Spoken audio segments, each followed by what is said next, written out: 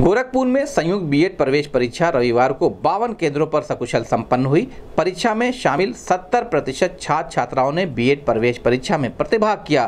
कई छात्र छात्राओं ने परीक्षा छोड़ दी। इसके बावजूद परीक्षा केंद्रों पर बड़ी संख्या में पहुँचे छात्र छात्राओं ने सामाजिक दूरी का पालन करते हुए तथा मास्क लगाकर परीक्षा में शामिल हुए। संयुक्त बीएड प्रवेश परीक्षा को संपन्न कराने के लिए दीनदयाल उपाध्याय गोरखपुर विश्वविद्यालय को नोडल सेंटर बनाया गया था कोरोना संक्रमण के खतरे के चलते इस परीक्षा में मास्क अनिवार्य किया गया था। इसलिए सभी परीक्षार्थी मास्क लगाकर ही परीक्षा केंद्रों पर पहुँचे और परीक्षा में सम्मिलित हुए। इस संबंध में गोरखपुर न्यूज़ से बात करते हुए परीक्षार्थी और संयुक्त बीएड प्रवेश परीक्षा के गोरखपुर ज़िले के नोडल अधिकारी एडीएम सिटी राकेश कुमार श्रीवास्तव ने कहा।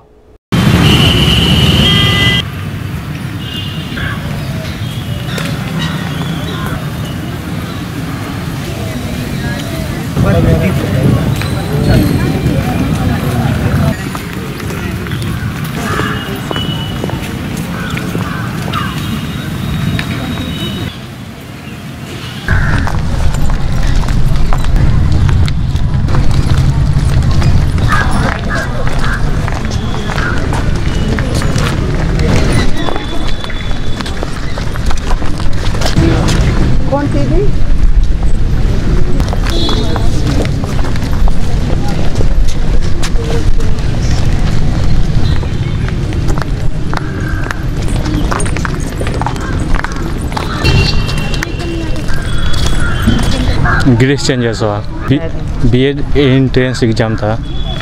बढ़िया पेपर आया था।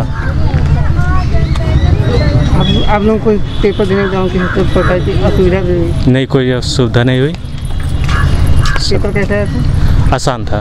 भास्कर भारद्वाज। अच्छा रहा पेपर। और हमारा पेपर था B Ed first first paper था बीएड का। और अच्छा रहा और क्या बताएँ पेपर के दौरान किसी प्रकार की असुविधा भी हुई आपको? नहीं किसी प्रकार की असुविधा नहीं हुई। सलमान मोहम्मद सलमान। पेपर जो है वो बहुत अच्छा रहा। अच्छे से एग्ज़ाम हुआ और अच्छी सुविधा भी थी यहाँ। सारे बच्चे जो है बहुत ही मतलब कॉन्फिडेंट थे अच्छे से एग्ज़ाम भी दिए हैं है ना? पेपर भी बहुत इजी था कोई डिफ़िकल्ट नहीं था। जो बच्चे तैयारी किए थे वो अपने आराम से जो है अपना पेपर दिए हैं। लखनऊ विश्वविद्यालय ने बीएड की परीक्षा का आयोजन किया है। वो कोऑर्डिनेटर था स्टेट लेवल पर।